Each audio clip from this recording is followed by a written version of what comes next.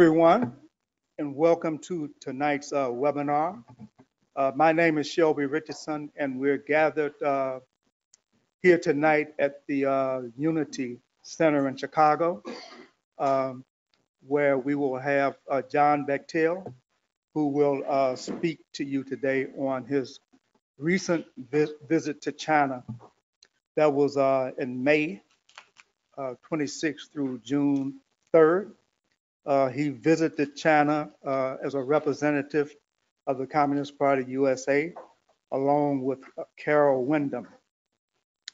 There was a, that was a celebration of the 200th anniversary of Karl Marx's uh, uh, birth, and it was hosted by the Communist Party of China.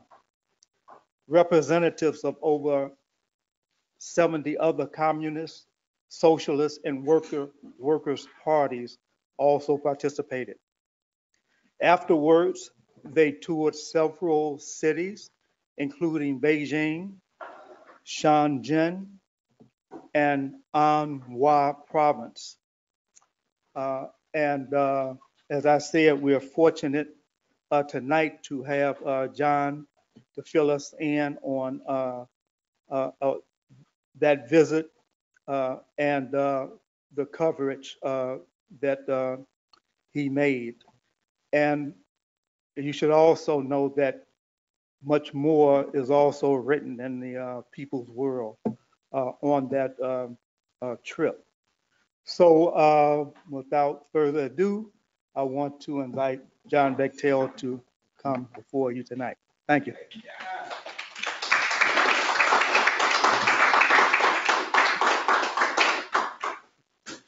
Well, thank you, everybody, and um, welcome to our audience, too. We, we're going Facebook Live with this. Um, I, uh, first of all, I just want to say that, you know, China is an immense and endlessly diverse country with a long and complicated history, undergoing rapid and profound changes. And I'm the first one to admit that I'm no expert, and there's only so much that Carol Whittam and I were able to see in the few days that we were there. There's so much that I don't know and much more that uh, we can't even fit into this presentation, although I'll try to answer as best I can any questions. And I'm sure there are others who I know who are here who have also been to China and can uh, share their experiences. But I hope it gives you a snapshot of China, a society in dynamic motion. And more importantly, regardless of your opinion, everyone should be aware of what China is attempting to achieve and its growing impact on the world. I hope this discussion encourages you to learn more and to make your own visit there one day. And of course, to read uh, the coverage in the People's World, uh, not just the articles that uh, Carol and I wrote, but I, I know we have ongoing coverage. Um, and also, we'll try to repost on the party website our uh, photo, uh, our slideshow, including uh, pictures, uh, a video of our experience on one of the high-speed trains, which are uh, being built all across China as we speak. well, a lot is a lot of what happened in China can be traced to the economic and social reforms adopted in 1978 and opening up to the global economy under the leadership of Deng, uh, Deng Xiaoping. This took a lot of courage on the part of the Communist Party of China leaders coming so soon after the end of the Mao era. And they were fully aware of the tremendous risks they were taking. The reforms ushered in what's called the socialist market economy or mixed economy, a recognition the old model of socialist development patterned on the Soviet Union's centralized economy, total public ownership, and wage leveling was a failure. The old model didn't fit China's economic and social reality. The reforms were a recognition development depended on engagement with a globalized economy, even when the US and other imperialist powers set the rules. The reforms allowed China as a developing country to accumulate capital by introducing mixed forms of property and essentially be a low wage manufacturing zone of consumer items for the capitalist world. The reforms were a shift to a model based on the principle to each according to their work. The first reforms were carried out in the agricultural sector after 18 courageous farmers signed a secret pact to split up communal lands with earnings based on production. Production increased immediately and dramatically. Instead of being persecuted, the farmers who we met uh, in a little town called uh, Xinghua became national heroes. The reforms were extended to the entire agriculture and then the manufacturing and service sectors. The changes since 1978 are staggering and unprecedented in human history. China has leapt from underdevelopment to a middle economy with modern, a modern infrastructure. It has surpassed the US in retail sales and within a decade will be the world's largest economy measured by GDP. 700 million people have been lifted from extreme poverty, which will be eliminated completely in the next three to five years. Let that sink in. Extreme poverty will be eliminated in the next three to five years. Almost all Chinese will live in a what they call a moderately prosperous life by the year 2020. Economic growth is nearly 7% a year, and China accounts for 30% of global economic growth. The country poured more concrete from 2011 to 2013 than the US did in the entire 20th century. Again, let that sink in. That's just a phenomenal amount of development. Wages, still low by US standards, have risen by 64% since 2011 and are now on par with Portugal and South Africa. Total state ownership of the economy and strict central planning ended. Roughly 60% of fixed investment in the Chinese economy is still in publicly owned or publicly controlled enterprises with a minority stake, minority private stake. The government directs social investment in education, healthcare, housing, transit, and controls armaments, energy production, oil and petrochemicals, telecommunications, coal, uh, coal mining, and aviation and shipping. However, the breakneck pace of development has come at a cost, including subsuming workers' rights to overall development, growth of the capitalist class, including billionaires who are the source of much of the corruption, economic inequalities, disparities between urban and rural, and severe environmental problems. According to President Xi Jinping, China is the world's largest developing country in the primary stage of socialist construction, attempting to overcome a huge contradiction between its own imbalanced growth and rapidly growing expectations and cultural needs of the people.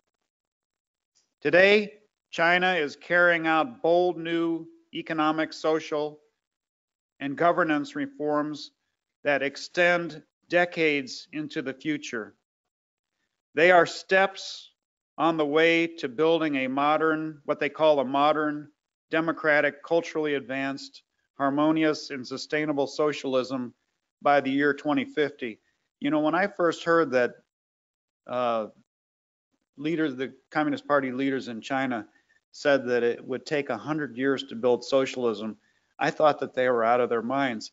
But, you know, it is, it's the way they have it you know, laid out and the way they envision it, it's going to take 100 years if you consider that the revolution took place, you know, in 1949. These reforms include Made in China 2025, a 10-year program to make China a global high-tech manufacturing power and radically increase productivity, which is today about one third of uh, that of the U.S. economy. Through uh, innovation and cutting edge digital technology and artificial intelligence.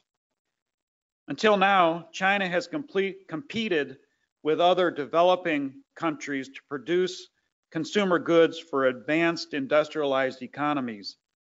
In the future, newly cr- created industries will satisfy the rapidly growing domestic market and then compete with capitalist economies in the advanced manufacturing and technological sectors. China plans to create a world-class system of universities, research institutions, and hospitals to attract world-class scientific and technical talent. Mind-boggling projects to modernize its infrastructure and move 250 million people into megacities are underway. They include knitting together a mega metropolitan capital region of 130 million people, linking Beijing, Tianjin, and Hebei, a 700 million, uh, a 700 miles south to north water transfer project, bridge and tunnel systems under the ocean, a new million, new million person cities being built from scratch, and a 35,000 kilometer high speed rail system. And as I mentioned, we got a chance to, to ride on that and it's a very modern and smooth uh, rail system. But the idea being that with high speed rail, people can live much further distances from where they work and they're able to travel very quickly to, to get to work. The economic reforms also depend on China opening up wider and wider to the global economy. Another reform is shifting to a sustainable path of development and building what they call an ecological civilization. This concept of building an ecological civilization is now incorporated and part of the Constitution of China. This comes in response to environmental destruction, which came with industrialization and the growth of a widespread environmental movement and consciousness in response. And it also helps that the president and head of the Communist Party of China is an ardent environmentalist. Only an eco-socialist oriented society can move with such unity, purpose, and speed, and China is a global leader in the fight against the climate crisis. China is the world's biggest investor in renewable energy, including solar panels. Plans were halted to build 150 coal-fired plants, and installation of filters on the remaining plants is nearly complete. China sells more electric vehicles than Europe and the US combined and passed laws to create a what they call a circular economy, that is reuse, recycle, and remanufacture. The country is constructing six me mega wind farms and carrying out the largest reforestation project in the world. Just a few years ago, Beijing was plagued with regular sandstorms originating in Inner Mongolia. Planting what they call a Great Green Wall has largely contained the sandstorms. However, enormous challenges do remain. China still produces more CO2 than any other country, will require burning fossil fuels uh, as part of their development plan. And plastic is ubiquitous and a major source of the Great Pacific Garbage Patch, although as of the beginning of this year, China will no longer import plastic waste from the United States and uh, the European Union. It's no longer going to be a uh, dumping ground, you know. Um, and that has the plastics or the you know the garbage uh, disposal industry in a big uh, uproar. Where are they going to ship all their plastic now? of course, you know they're going to try to ship it to other developing countries as well. But anyway, from China's perspective, they're going to put an end to uh, it being a, a dumping ground. China sees economic nationalism as a threat to its reforms and global economic development in general and is and refuses to be bullied by the economic nationalism of this administration, the Trump administration, and the tariffs that um, Trump is imposing. And of course, they retaliated with their own set of, of uh, tariffs and uh, are buying, you know, their like soybeans and other things, you know, and other other from other countries.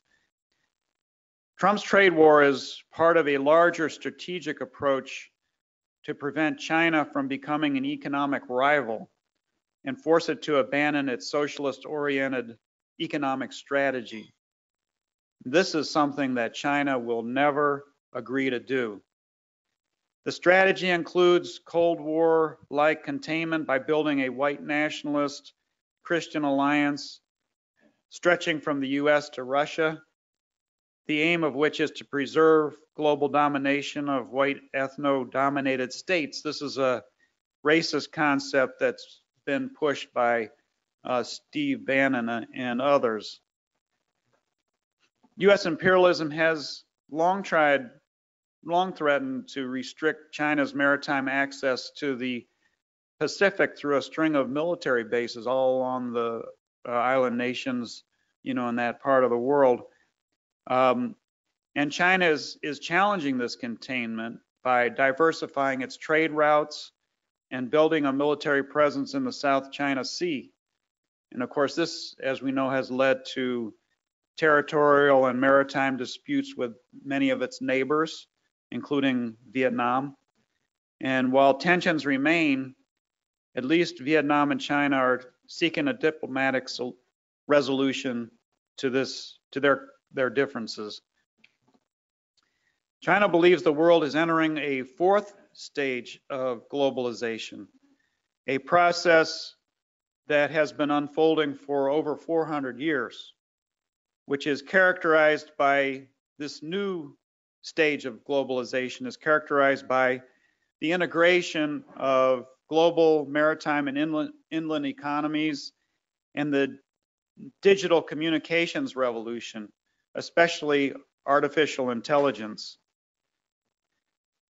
The US emerged as the world's sole economic and military superpower with the collapse of socialism in the former USSR and Eastern Bloc countries in 1989 and 91, and then after that sought to preempt future rivalries by integrating Russia and China into the global capitalist trade system.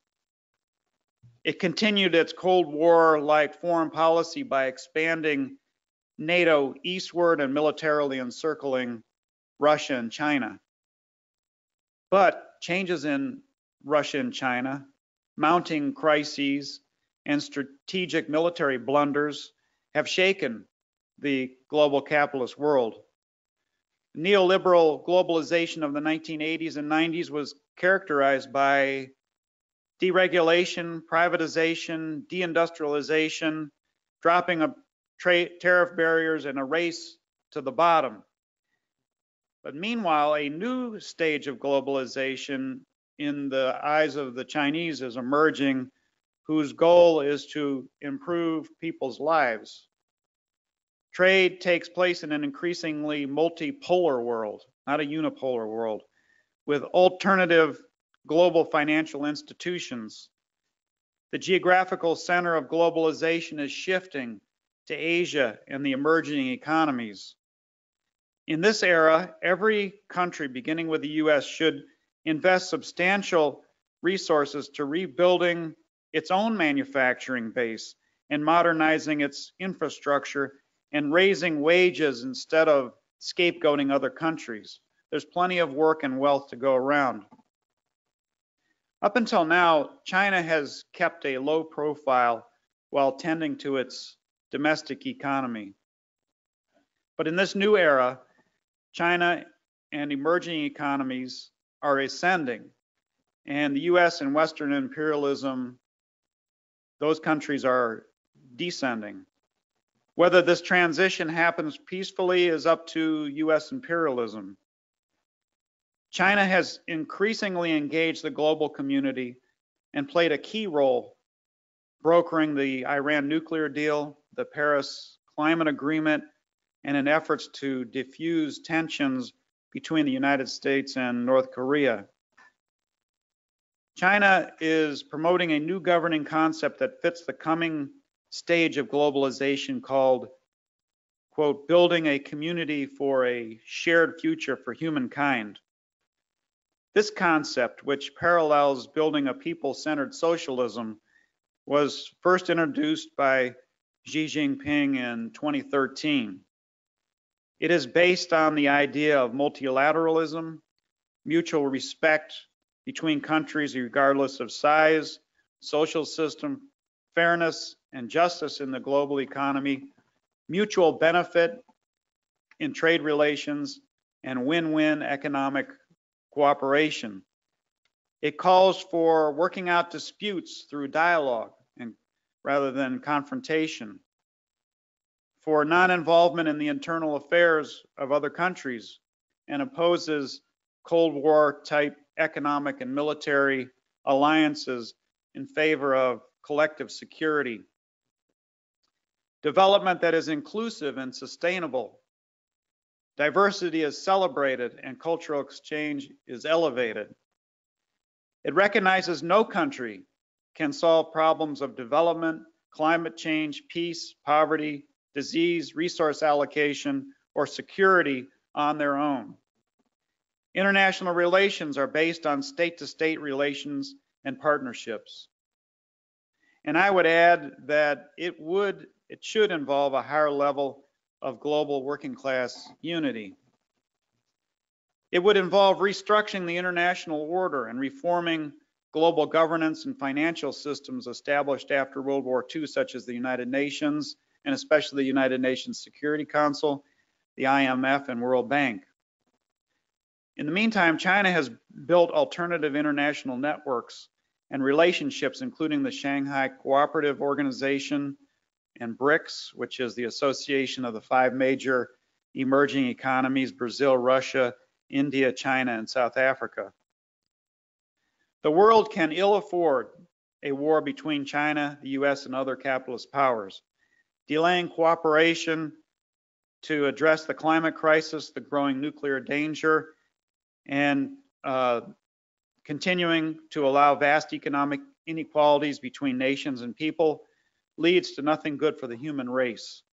Better to build a shared community uh, for a future of hum humankind. By far, China's most ambitious project and part of this effort, this new uh, concept, is the project called the Belt Road Initiative, which was launched in 2013. It is a massive $1 trillion, and some say it may actually go up to two or three trillion dollars in the end, development project comprising over 2,000 local construction projects. And these are big projects in themselves, infrastructure projects.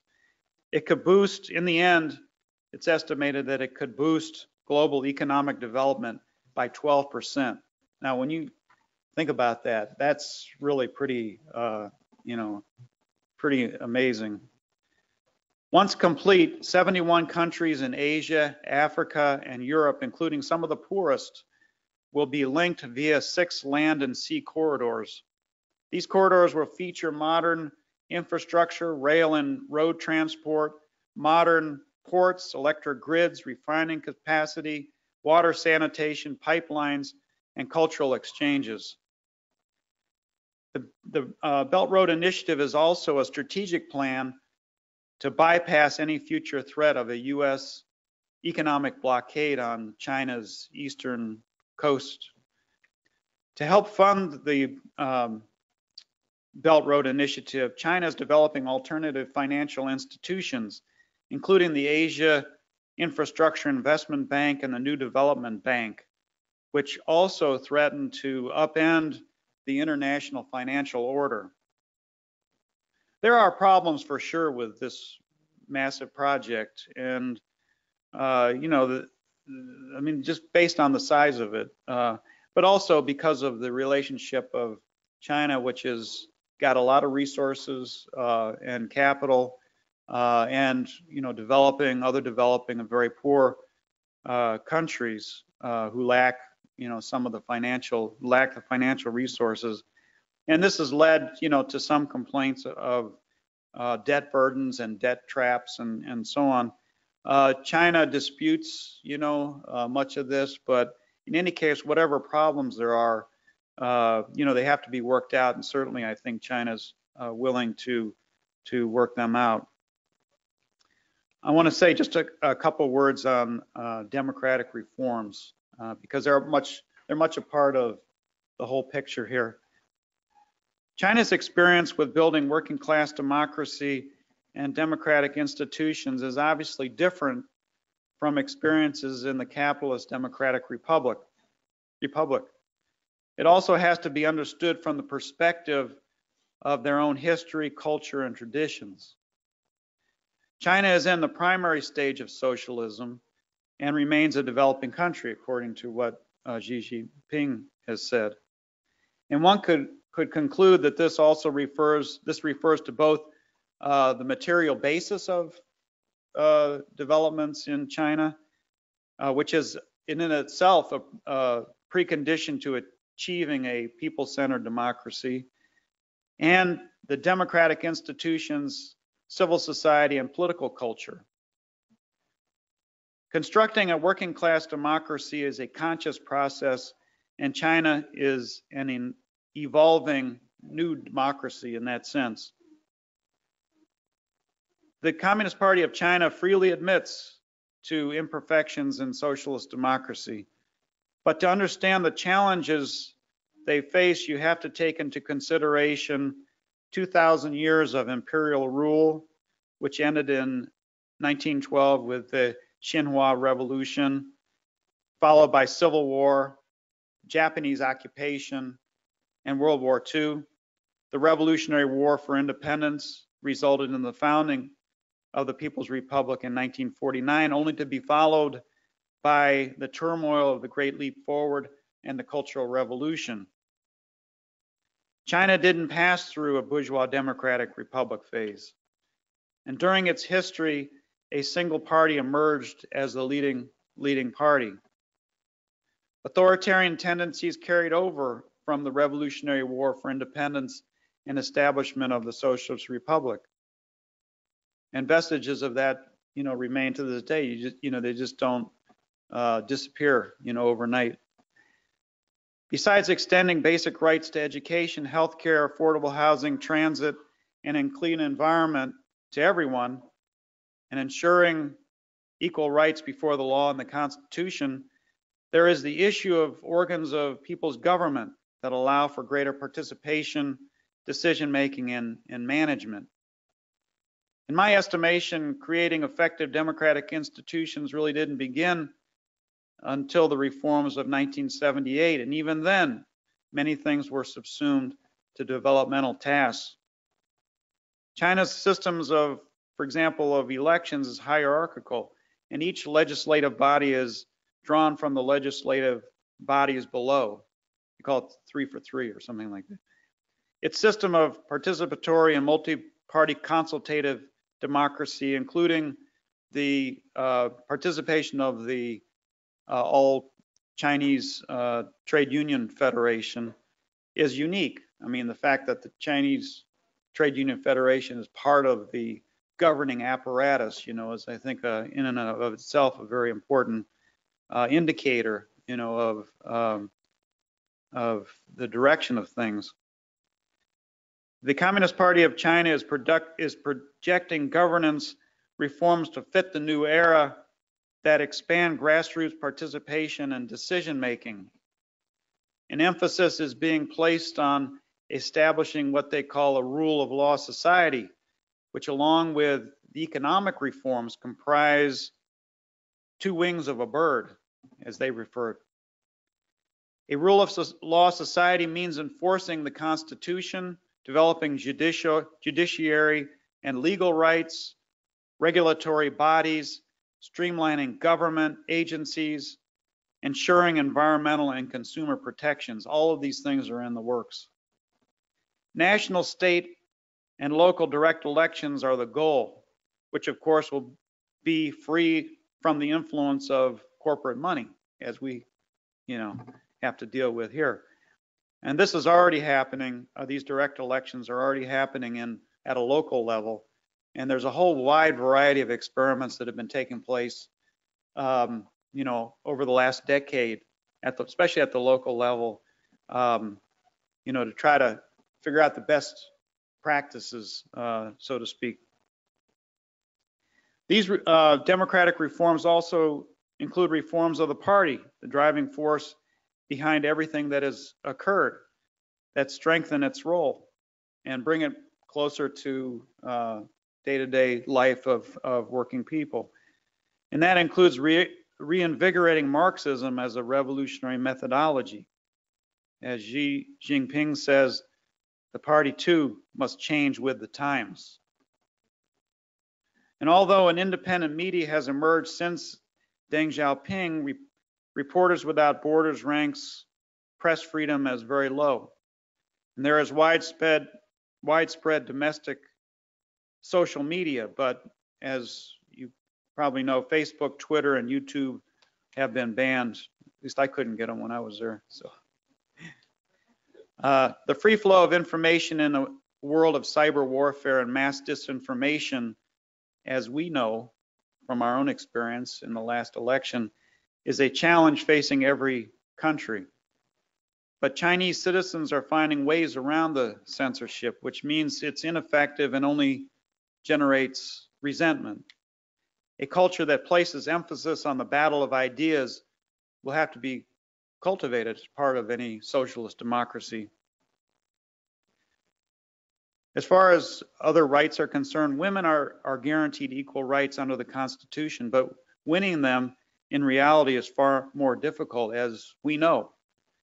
Uh, you know, the fight for equal rights in the United States, of course, is uh, on a different, um, takes place in a different terrain, but nevertheless, uh, it's an ongoing battle. Um, uh, over 80% of women are in the workforce, but vestiges of patriarchal society remain, including widespread domestic abuse, sexual harassment, property rights, and unwanted daughters.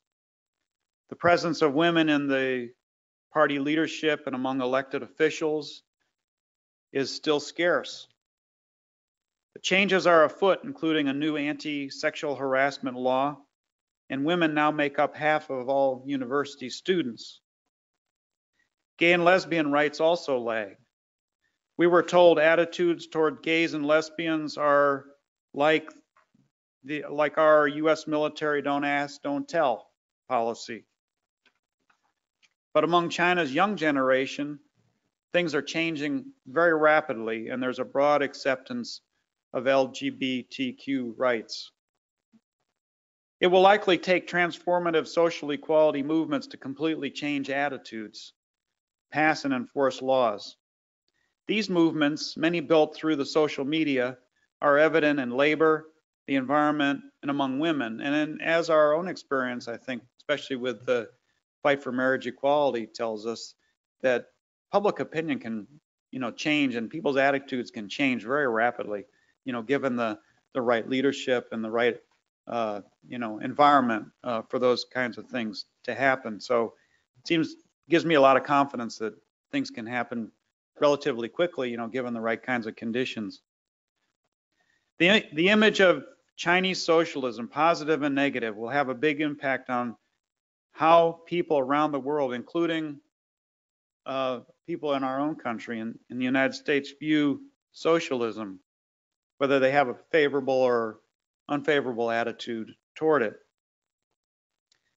And the Communist Party of China maintains, and I agree, and I think it's the stance of our party, that each country has its own path to socialism based on its own conditions, its own traditions, um, and its own struggles, its own realities.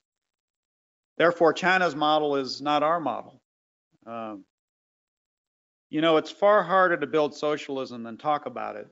I think that to me is one of the big lessons, at least of, you know, my visit there and uh, my visits to Cuba and also to Vietnam. It's far harder to build it, and you make a lot of mistakes, you know, along the way, and uh, you try a lot of things, uh, you make a lot of errors, and sometimes you even fail, you know, as happened in the Soviet Union. Um, so anyway, it's, you know, it's extremely difficult uh, to do. Um, And it takes time. It doesn't happen overnight. Uh, You know, development of socialism goes through many different stages and, and processes. In any case, I think we're challenged to discuss the positive achievements that are taking place in China, but explain their unique history, problems, and shortcomings in a partisan way. And most of all, I think we have to draw the, the lessons, you know, from their experience, but to continue to, to develop our own collective vision of democratic, demilitarized, sustainable socialism and the democratic path that we project to get there. That's it.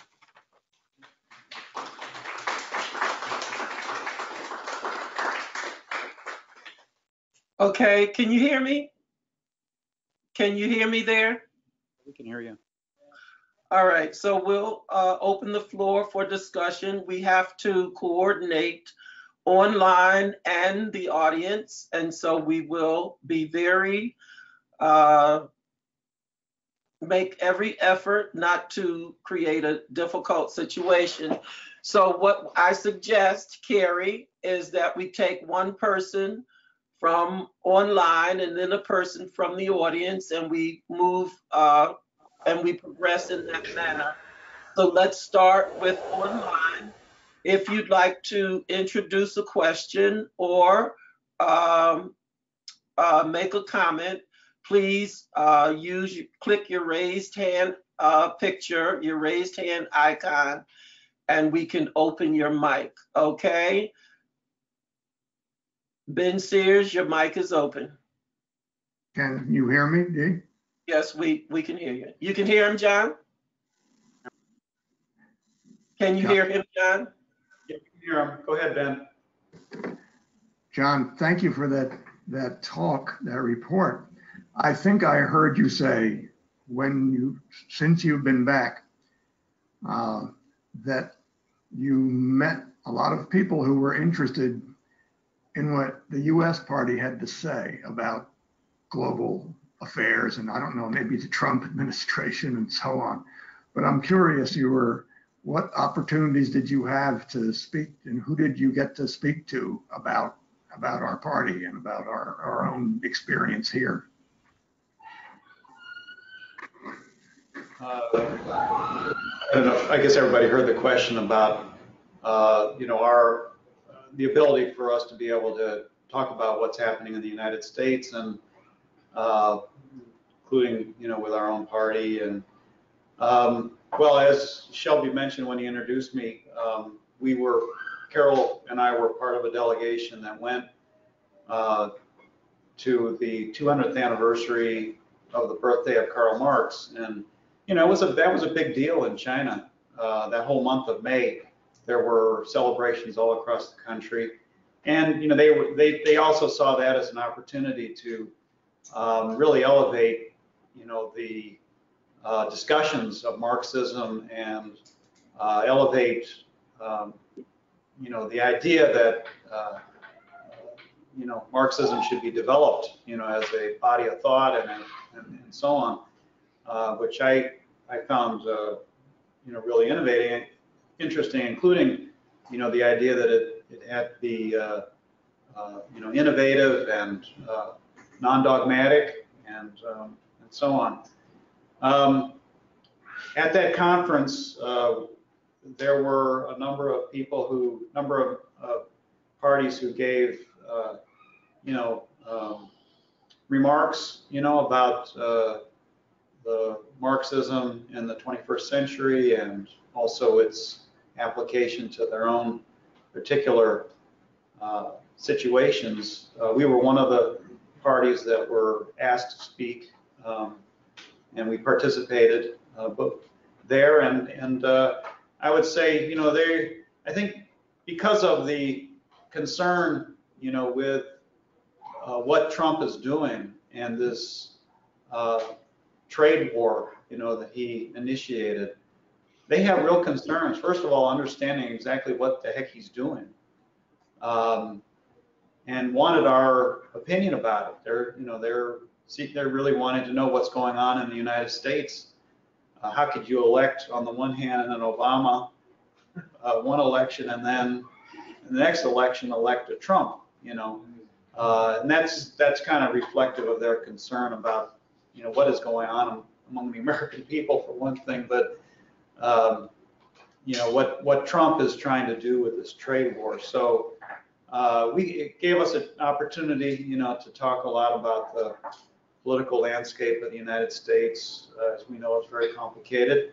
Um, And also, uh, you know, some of the factors that were going into um, this Trump trade war, including what I mentioned, but also, you know, his uh, effort to appeal to a a base, you know, his base of supporters through economic nationalism and to whip them up, you know, for the uh, coming election.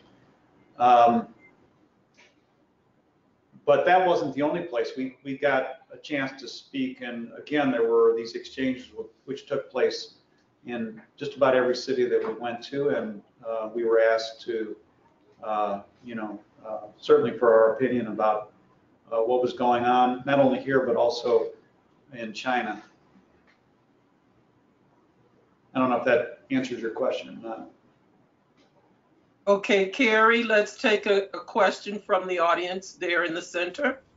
Okay, John Wojcik. Yeah, I think, I want to thank John for that report. I think the thing that stuck into my head the most, uh, from what he said was, it's much easier to, much easier to, uh, uh, to, to, building socialism is a lot more difficult than talking about it. You know, I mean, I think that, that's the thing, and I, I feel that very strongly.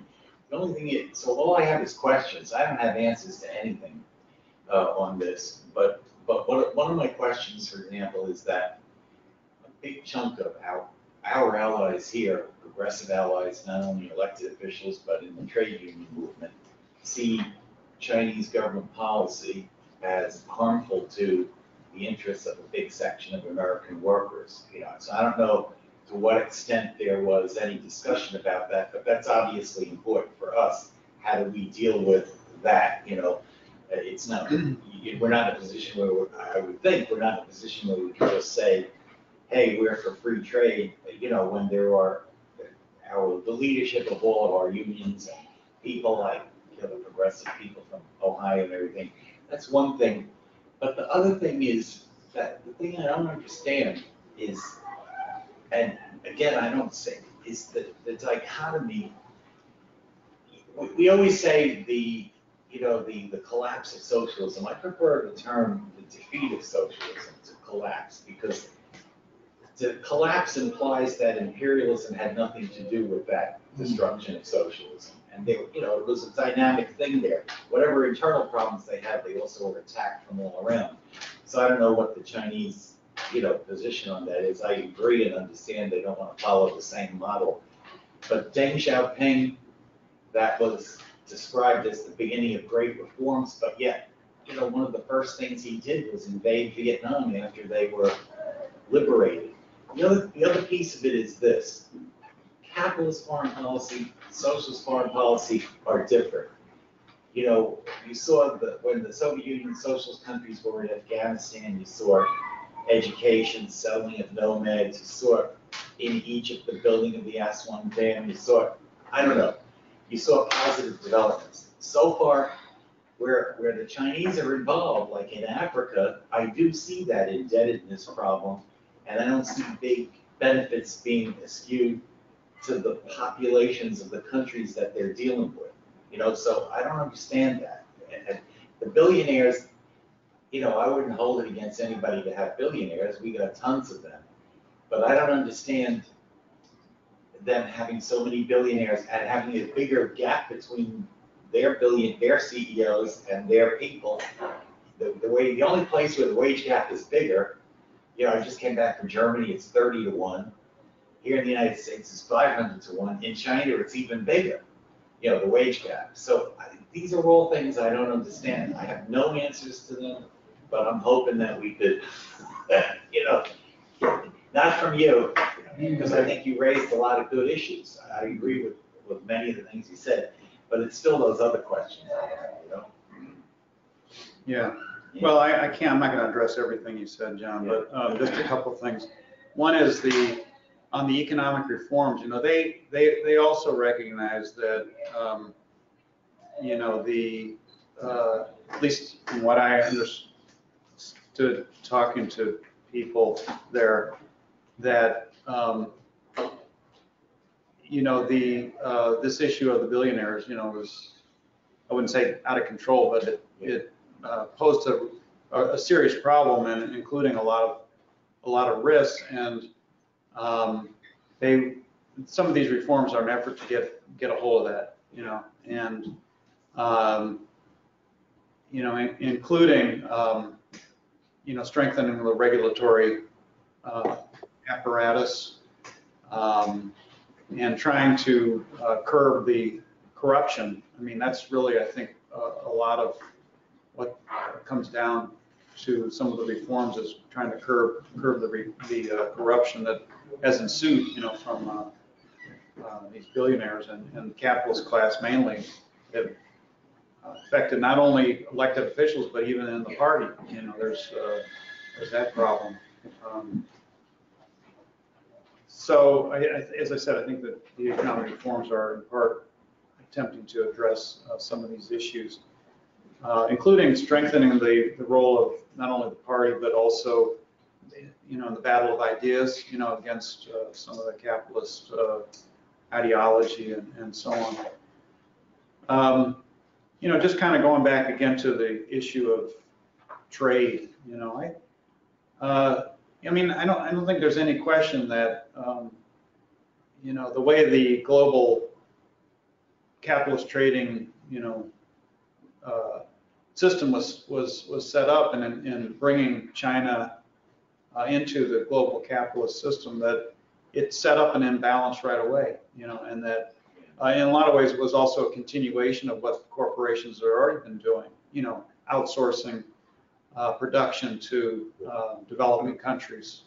But it really accelerated it, you know. Um, and course, it created a lot of problems, you know, in in, in uh, the United States and, and other advanced capitalist countries, including contributed to the de- deindustrialization of regions and cities and, and so on. Um, but I want to make a, just a couple of uh, also, you know, kind of qualify that in uh, a couple ways. One is that, uh, you know, it was this was this was not China. This was not China's fault. This was the corporations that did this. The U.S. corporations and transnational capital that did this. You know, um, and they, you know, because of their drive for products, profits, they sought uh, low wage zones and tried to wherever they could go, you know, around the world. Um, so that's, and, and the U.S. government facilitated that, you know. Uh, one administration after another facilitated that, that uh, exodus of capital and the, the flight of jobs and, and, and so on. They were rewarded, corporations were rewarded for leaving the country. Uh, so to scapegoat China, to put, uh, especially a developing country, you know, that's trying to develop itself, I think would be wrong. Um, the other thing is that the U.S., for example, has not had a policy on manufacturing, its manufacturing industry and developing a manufacturing sector, its own, uh, you know, uh, domestic manufacturing sector. Um, to me, that that's a huge issue that we should be demanding. When are you going to start investing money in, uh, you know, U.S. manufacturing sector um, to create jobs and tie it with a mass, uh, you know, infrastructure rebuilding project for the whole country? We could put everybody to work and raise wages, you know, and, and so on. Uh, so especially in these areas that have been deindustrialized and are feeling, you know, uh, still feeling the effects of, of deindustrialization. So um, to me, the that has to be changed along with a uh, changing the global governance structure, you know, trade trade regime that Uh, you know, a few years ago, um, I think it was Gephardt came up with this idea of a global minimum wage. Why can't that be discussed? See, I mean, the, these capitalist corporations are the ones that are dominating this system. Why can't they rewrite the rules, you know, to make it uh, uh, also fair, you know? So um, anyway, I think that we have to kind of think along those lines to me as a way to solve it. That answer was really. And, and also it, what happens with these trade wars is that it ends up pitting US workers against Chinese workers. Now they're the enemy. When the corporations are getting off scot-free, so, uh, you know, it has, we have to, have to figure out a way to bring unity between the working class of our, coun- of our two countries. Uh, and I think that's what this kind of, uh, foreign policy gets at, you know, with the uh, China's foreign policy in the future. Anyway, those are just some. Thank you, those are really good points. Okay, we'll take another question from online. Oh, your mic is open. Aloha, John. Thank you for this presentation. Um, this is Lowell from Hawaii, and um, I guess bringing a little skepticism. Um, I think John opened up a little, um, a little bit of what I need to say about what's happened, what's happening with China and its so-called socialism. Um, I would say, first of all, you mentioned in your presentation about China wanting to move to a rule of a rule of law society, and what that makes me think of, and what we should be thinking of, um, is how after formal colonialism in Africa and the Third World, the United States and Britain pushed for similar rule of law societies because they wanted secure places for capital. So I think that's when you said that, that's what made me, I, I thought about that. But I do think a lot about Africa and what is happening with this so-called socialist developing economy, because I do not know of any other socialist developing economy that is building military bases, is extracting resources for cheap, um, and um, you know, yes, they're financing malls, they're building a railway, as did Britain in India, um, but they are not, to my mind, and maybe like you, John, I'm not an expert on the internal affairs of China, but I am following the debates that are going on in Africa, um, and they are debates pro and con about what China's doing, because as far as I can tell, this is colonialism. This is the same thing that Europe was doing. Europe basically paved the road, and China has moved in and extracting resources. So I think we should be a little bit skeptical of what is happening um, globally with China because it looks like to me China or socialism in China with Chinese characteristics is going to be a, a Chinese finance shopping mall in Namibia staffed by a local African girl stuffed with Chinese made goods. That's not development. That's not liberation. That's not the end of capitalism for the countries of Africa that have been exploited, as we all know, for centuries. Thank you. Um, yeah, well, uh, you know, Lowell raises, I think, some, uh, and also John had touched on that as well. These are, uh, you know, not, not easy, um, uh, questions and, um, you know, there, there, there are, there are some contradictory kinds of developments, uh, as I try to allude to, you know, in my, uh, remarks. Um, given, you know, the status of, of, uh, and level development of different countries vis-a-vis even China. Um, and I think these are problems that, uh, as you as you pointed out, you know, uh, they're contentious, um, and not everybody sees them, you know, in the in the same way. Um, from my perspective, uh, you know, there, the, the issue of, of, especially of, of, of infrastructure and of connecting countries to the global economy um, is really a, it's, it's kind of a key, key issue. Um, because, you know, again, they, they keep making the point, that is the Chinese, that uh, no country can develop in isolation. You can't, you can't develop if you're isolated from the global economy. And of course, uh, you know, at the same time, um, you know, there has to be a fight to make the global economy and the trade, global trade a fair, you know, fair and just economy. It can't be just left uh, at an economy which is dominated by transnational capital and so on.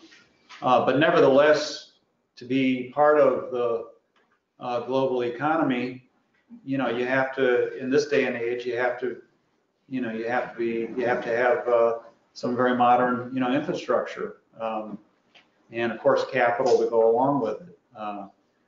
And so from my perspective, you know, these developmental projects are positives, uh, whether they be ports or rail transit, you know, connecting countries, uh, because they're going to promote trade, you know, and, and development. Um, and that's really, a, I think, a fundamental issue facing the world is development, you know, developing, uh, you know, uh, bringing countries from underdeveloped status, you know, to uh, development, to uh, pulling, uh, you know, millions of people out of poverty and, um, you know, creating the infrastructure that will go along with that. And I, uh, you know, I, I think that that's, at least in my mind, that's, that's what they're trying to be a factor in. Um, now, how that all shakes out in terms of the finances is another issue. And I, I know I've read many of the same things about, you know, the debt traps and, and so on. And, um, you know, some of the, uh, uh, you know, the, uh, what do you call them, like agreements that have been reached that are maybe uh, one-sided. Uh, again, those are, you know, those are things that are being debated out and, uh, you know, but overall, I, you know, I, I think that these developmental projects are a positive. Mean, you take a look at, again, what this Belt Road Initiative and what it, you know, what it uh, portends to do, you know, linking, uh, you know, the whole from China all the way to, to Europe and bringing, you know, going into areas, you know, linking areas that have been isolated and, and so on. I these are really, to me, they're, they're positives and you can't get around issues of development. Um, but again, we want to fight to do it in a way that's fair and just uh, and that it's, as they put it, win-win for everybody. Uh, that has to be a fundamental part of the whole thing. Okay, let's take a question from the audience there, Carrie. Okay, next is Melissa. Um, That was a great report, John. Thanks. Um, you talked about the fossil fuel in, uh, resources there in China. Will they be able to do away with those, uh, the fossil fuel in- industry? And if so, how would they go, you know, how would they go about doing that? Yeah, the question is uh, about doing away with fossil fuel industry and, and uh, in particular burning coal. Uh, yeah, that's their goal. Their goal is to is to have a completely sustainable society. I don't know the year, um, but uh, it's uh, definitely in the works. And um, you know, they they uh, just recently they they made a they had made a goal about uh, solar uh, production from solar panels, and they decided to double that. You know, they doubled to double that goal. Um, and at the same time, I think I mentioned in my remarks that uh, they uh, have put, you know, they stopped building a whole number of uh, coal-fired power plants um, and put these scrubbers, you know, on, on all the rest of them. Um, so it didn't, it obviously hasn't eliminated the problem. Uh, and coal, coal burning power plants are going to be part of their picture for a while. Uh, but when you combine the um, you know, the, uh, these mega wind farms with the solar energy and geothermal. I mean, they're, they're committed to, you know, a sustainable society, you know, and getting off coal. Uh, As we know, I think they, they still import a lot of coal from the United States, actually, from, uh, uh, I think it's the Powder River Basin in Wyoming. Um, And, but again, that's, uh, they, their, their plans to get off it. And uh, if they, you know, if they take bigger steps in that direction, that's going to be a very important, um, you know, for the fight for climate, against the climate crisis. Okay, let's take one more online and then we'll end for tonight. Alvaro, you'll have the floor. Hi, John. Thank you for your report. Uh, very good. I mean, it's a great thing that we're talking about the second largest economy in the world as on the path to building uh, socialism, initial uh, stages of building socialism. So that's actually very wonderful. And um, so that is that's a good discussion. Um, I just wanted to say that uh, as far as the uh, as a trade problem uh, between that Trump has started with uh, China, they're trying to make China a scapegoat for the uh, problems that our working class faces here instead of the corporations. And so a very good question would be certainly why have we not joint Belt and Road Initiative? We certainly need a lot of uh, Chinese dollars to build, re, uh, build uh, and rebuild our infrastructure. So I think that would be a good point to bring up in the future is that we should be talking about those kind of things instead of uh, uh, trade wars with uh, with the Chinese people and the Chinese working class. So thank you for your report. Yeah, thanks, Oliver. I couldn't agree more. In fact, I, I think I just saw the other day where, where Canada, you know, is, wants to be part of it. So, I mean, we're not that far away, right?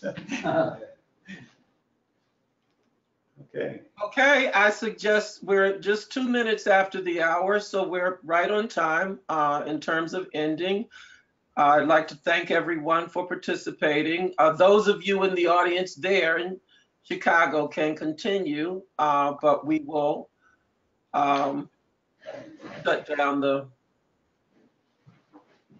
unless you want to continue taking questions, John, we can continue. Uh, I can, con- I can continue. Can I grab something, five more minutes? Five more minutes. There are a couple more questions here in the audience here. First one, Scott Marshall. I'm just curious, I thought it was a very good report, and I, I think a lot of thought went into it.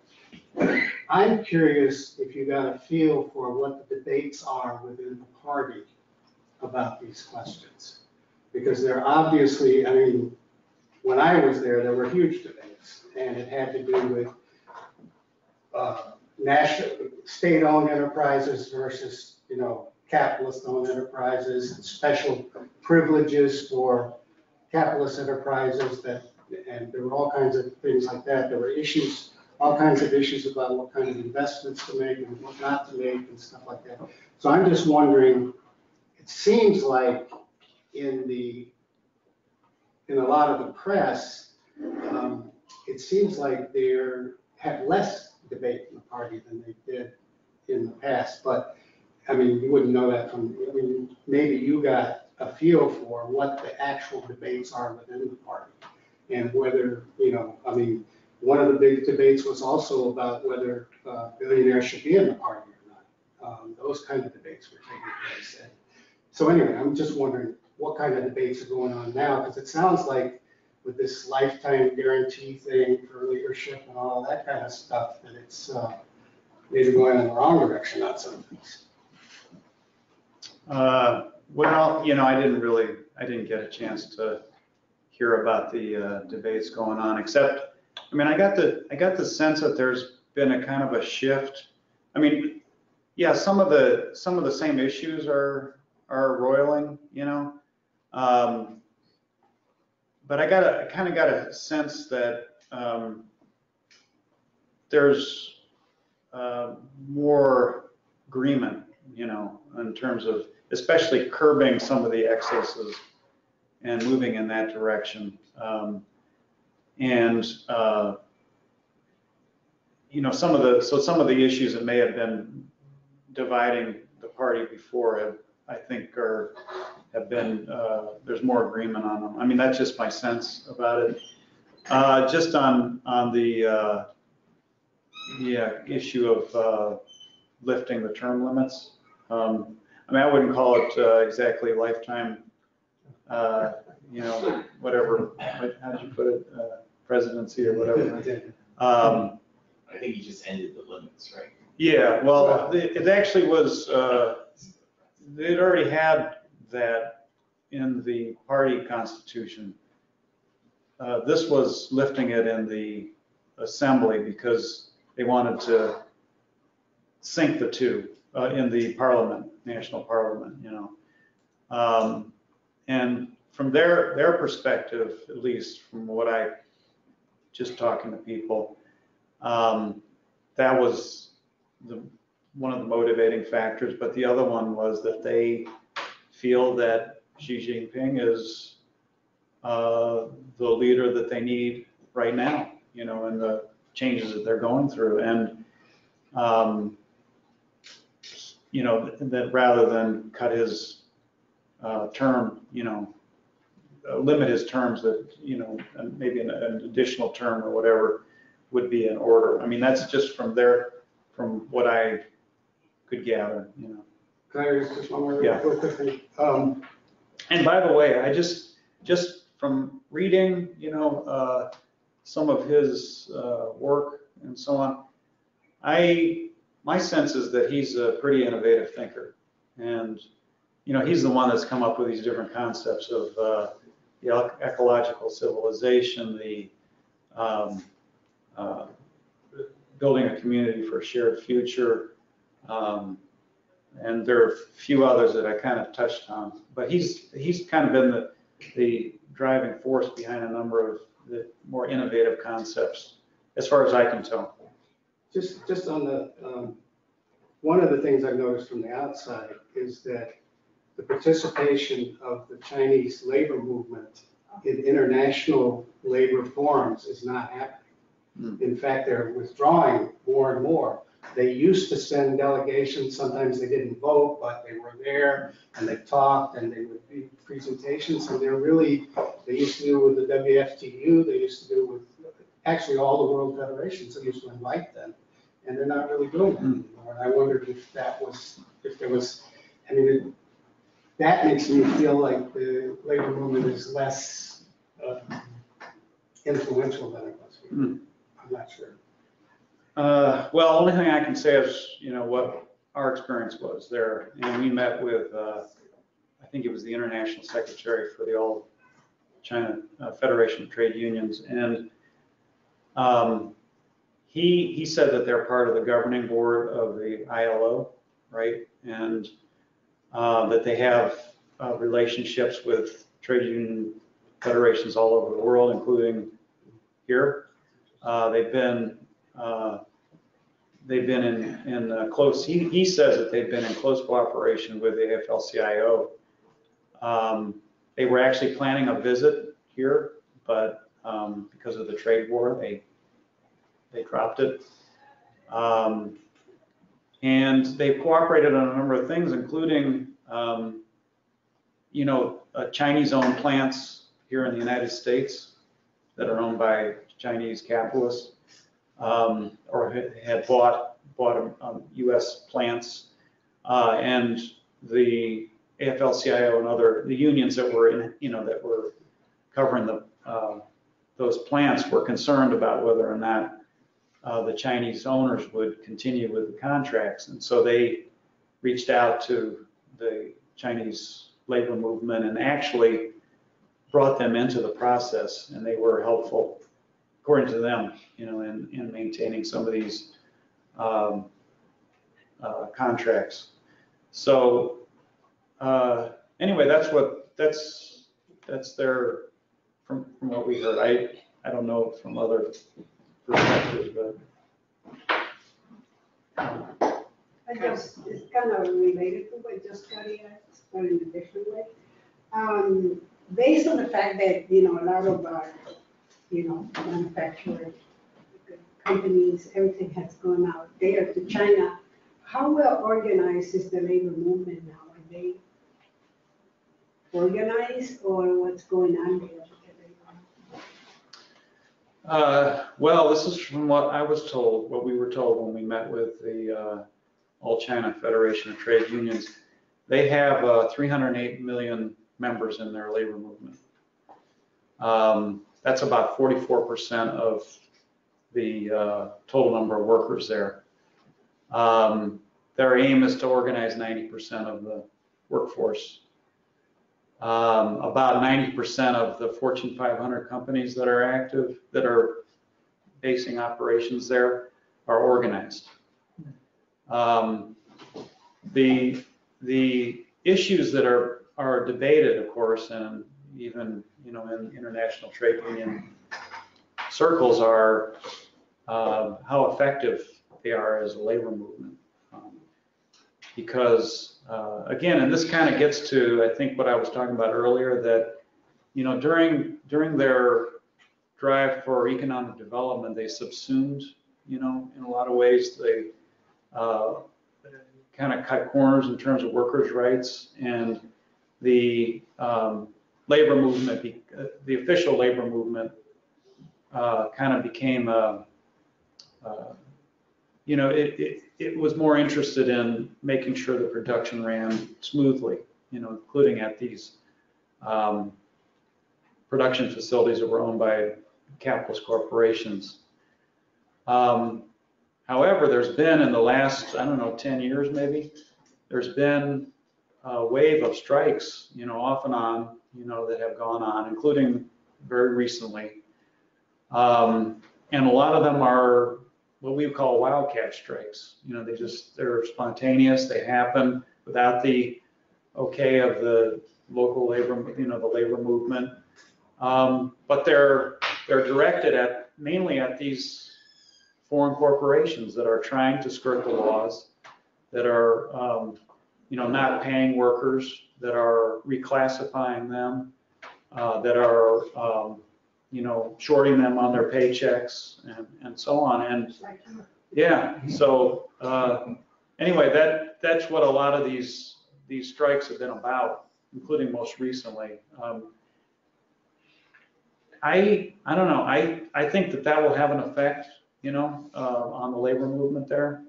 Uh, this activism that's taking place, I I think that it's going to have an effect. And even um, you know Xi Jinping, you know, says the labor movement has to change. It has to respond to the workers, you know, more. So I think that kind of opens the door to changes. And I know uh, there's still, you know, a lot of problems and questions, but I think again, this is one of those examples where I think the uh, things are evolving and trying to find the labor movement trying to find its footing, you know, in these under these circumstances. Let's not forget, you know, that the labor movement in China um, was founded in 1925, and it was the party, you know, that actually founded it. So, you know, they were the, the ones that it was top priority. In fact, the first laws during the 1949 revolution, you know, when uh, People's Republic was established, were around trade union rights and, and labor rights. So, um, again, I think it, it, a lot of it has to do with these issues of development and and uh, they'll they'll they're going to evolve. Just one Since you're taking more questions, there is another question online. Uh, Henry, your mic is open. Um, I, one of the issues that I know gets, uh, is going to be raised by people who discuss socialism in China and so forth is the whole issue of, of civil liberties and of the guaranteed role of rule of, of a single party. And um, what would you say about that? If, uh, you know, if somebody raises it to you that, you know, this is all very well and good, but the fact of the matter is civil liberties are still restricted. There's only one party that can legally function and so forth. What, what would you say about that? Yeah. Yeah, well, I think uh, I mean obviously from our perspective, uh, it um, raises certain concerns and questions. Um, and um, again, you know, you kind of you know, have to look at uh, how things develop there uh, historically and the emergence of uh, the Communist Party of China as the leading party. Um, You know, at the same time, I think one of the, one of the chief mistakes that was made in the Soviet Union uh, and also the other socialist countries that were, where socialism was defeated, as John says, uh, was that the, the the Communist Party, their authority was enshrined in the Constitution. Now, I, I don't know if that's true in the Chinese Constitution. I haven't, I haven't read it, but if it is, I would say that that's a mistake. And also that, um, you know, as, as, uh, you know, the kind of civil society and political culture develops, um, I think you, you're naturally going to have the emergence of different social interest groups, and particularly when you have different classes. Um, you know, you're going to have different interests that are going to be represented, and I don't think you can, um, you know, you can prevent uh, uh, these expressions uh, from crystallizing administratively. I don't think you can do that. I don't think it's effective. It, it, it has too much spillover effect into other areas, you know, of, of life and, and, and so on. So the big lesson that to me is that you have to engage. You know, you, you have to you have to win people over through uh, democratic, you know, means and through uh, organizing and through, you know, all these kinds of things. Uh, and you know, so if if other uh, you know, parties emerge, well, you, that has to be, uh, you know, part of the political landscape, and then you have to deal with it from there. They do have this, what they call a consultative and participatory uh, consultative body, uh, which is some kind of um, consultative body which comprises uh, five other political parties. Um, now, I don't, I can't really tell you anything more about it except that it, it's a, it's, it's kind of, it's separate from the uh, parliamentary, from the parliament. It's kind of a, a way for, uh, you know, you know, discussions to take place about laws and uh, initiatives and priorities and, and that, that, kind of thing. Um, but in any case, you know, I, it's not it's not like there's only one party, but in the actually in the electoral arena, I, I think there probably is. So I, I mean, I, I see this thing evolving, and I can't really see how it can't change, uh, you know, as the political culture develops. Okay. Um, question from B. Lumpkin. Uh, thank you. Uh, thanks, John, for uh, painting that picture of some of the thrilling developments in China where hundreds and hundreds of millions have been lifted out of, of poverty and they're tending to shift the whole balance of world power. Uh, but we know that the class struggle continued after the Russian Revolution. And uh, in the end, yeah. I agree, socialism did never collapse in the Soviet Union, but it was overthrown. And I'm sure the Chinese leaders have analyzed that just as we're trying to. And my concern, my question is about that aspect of the class struggle in China, where you have a very powerful at least in terms of the capital they've accumulated, Chinese capitalist class with more than one or two billionaires. Now, we've heard a lot about the personal corruption for more profits for the individual capitalist. But I can't believe they're not scheming on how to change the course of China away from the goal of socialism and seizing power. And without a class conscious working class that's organizing in a strong way at their places of, of work. I'm really, you know, I'm sure we're all worried, so my question is kind of a follow-up on, on Scott's in terms of, uh, what's being done to, uh, I don't just mean academic Marxism and, and all of that, but to build the basic class consciousness of the huge Chinese working class. Yeah, well, I, I think that that's, uh, that's a huge issue. I mean, you're right, I mean, all the, and, and it kind of goes to the last question as well. I mean, the, uh, you know, issues of uh, classes and class struggle, it doesn't, you know, it's part of the setup there and you have to recognize it.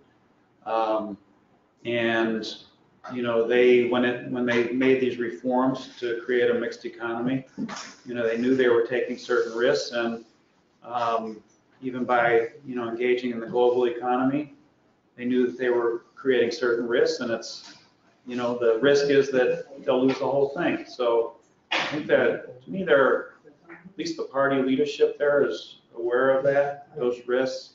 And again, I think that's one of the reasons why some of the, some of these reforms, that's the basis of some of these reforms, is to, is to strengthen, um, you know, the, the role of uh, the working class in this thing and also to put some curbs to begin to regulate more uh, the capitalist class there. Um, in addition, the the uh, education reforms and, and, again the this issue of, of Marxism and this conference and uh, you know them celebrating it, uh, Marx uh, was I saw that as a sign that they want to elevate you know these kinds of discussions and find find more effective ways of of um, you know introducing or at least making Marxism a much bigger part of the discussions and approaches you know all of society, but also um, figuring out how to to elevate people's participation in this whole thing because uh, if people are not engaged, if they're not drawn into the political process, that's really where the problem is to me. And that's one of the lessons of what happened in the Soviet Union. You know, people didn't fight. They didn't fight to defend socialism. And so I think that's that's all part of this process. And they, by the way, they've studied those lessons with what happened in the Soviet Union very carefully. And they've drawn, I think, they're trying to draw the right uh, conclusions. Okay, next one, Charlie. Yeah, John, the US Railroad Network was finished in 1920 with about 250,000 miles of track. Uh, The British tried to bring rails, railroads into China and the, the people attacked the steam engine because they thought it was a dragon. And they were also fearful of the straight lines. They said that brought bad energy into the village. But now, and even a few years ago, I was getting in programs where I'd watch films of steam engines in operation in China. Um, and then I'm told that this is a great project here. I've been to presentations on Belt Road. But it sounds, doesn't it, it sounds to me though, as if the country is developing great railroads. It's, it's not, I, I can't, it's like not really the biggest, like, they didn't have railroads comparable to that in the States or other countries. Is it that big a development? I, I don't, I don't know if you know railroads, but, you know, I, I'm kind of wondering if they're just getting freight railroads.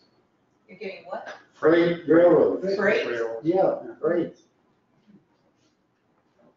Yeah, I'm not sure. I don't. Yeah. I I think you'd have to really think about those stories where they, you know, you get reported in the United States that people in other countries think things are dragons or mystical. Well, that's just a story. I know, but it, it, it really makes the people look like ignorant savages, and I think, no, seriously, it's, Oh. and we hear those stories about people in, in other continents, you know, and I think we ought to reexamine them, because maybe those people didn't like the railroads because they were, you know, part of the imperialism or something like that. Um, but, you know, I, I just, it, it, it, it rings offensive to me, I think it ought to be mentioned. I don't have an answer. Okay, I guess we should uh, wrap it up, huh? Uh, Well, I want to thank everybody for participating. And again, there's a lot to discuss here, and I hope we have more discussions, and I hope more people travel and also make uh, their own observations, and so we can have a much deeper understanding, a more well-rounded understanding of what's actually happening. So thank you, and good night.